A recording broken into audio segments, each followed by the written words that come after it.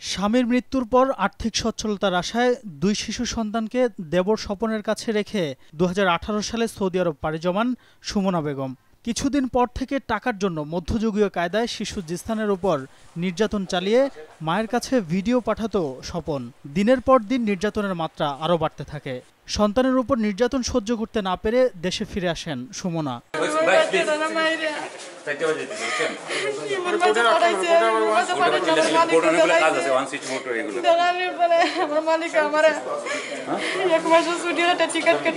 মাসের ছুটি দেয়।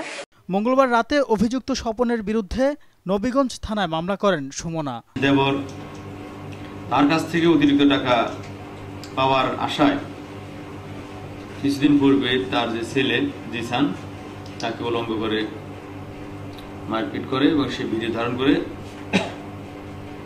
এই সুমন আক্তারের নিকট হোয়াটসঅ্যাপ বা ইমোতে পাঠিয়ে দেয়। শহর মেয়ের যাতে সর্বোচ্চ শাস্তি হয় সেজন্য আমাদের যা যা করা দরকার আমরা সব কিছু করব। এ ঘটনায় অভিযুক্তের দৃষ্টান্তমূলক শাস্তির দাবি করেছেন নির্যাতিত শিশুর মা ও এলাকাবাসী। সময় সংবাদ হবিগঞ্জ।